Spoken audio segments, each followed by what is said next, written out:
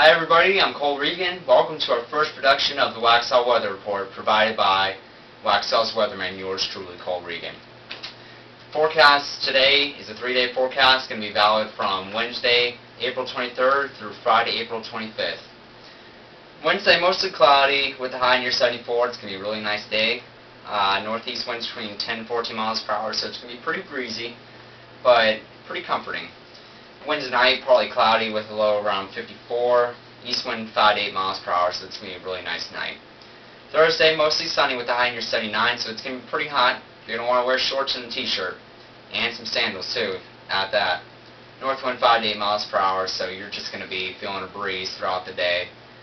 Uh, Thursday night, partly cloudy with a low around 56. South wind between 3 and 6 miles per hour, so another good night. Friday, slight chance of showers and thunderstorms after 2 o'clock. That's just the afternoon showers and thunderstorms we always see in the summer because the ground heat just rises and creates disturbance in the atmosphere. Just creates isolated pop-up showers and thunderstorms. Nothing to be concerned about. Uh, mostly cloudy with a high near 80. Chance pre precipitation is 20%. And Friday night, still a slight chance for an isolated shower or thunderstorm, so, you know, but don't cancel any outdoor plans you have for Friday night because I think you'll just be just fine, just as you are.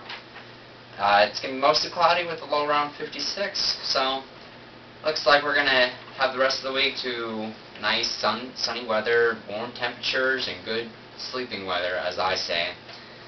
Also, at the end of our forecast, we'll, I'll be allowing people to send in questions that I can answer for you, such as the difference between tornado warnings and watches, what a hurricane is, and other sorts of things. Just send them in to me, MySpace, or email, or just see me at school and give me a piece of paper with the question. Also, I'll, I'll give out shout-outs on Fridays, and any other day you want me to, about weather. Say, okay, Cole Regan wants to go to Myrtle Beach and he needs the weather forecast. I'll include in there say, hey, Cole Regan, here's a shout out to you. Friday in Myrtle Beach, it's going to be 79. Saturday, it's going to be 80. Sunday, it's going to be 90. I'll give that to you, and you'll appreciate me for it later when I'm right. But have a good night. Thank you for watching this weather report provided by Waxhaw's Weatherman.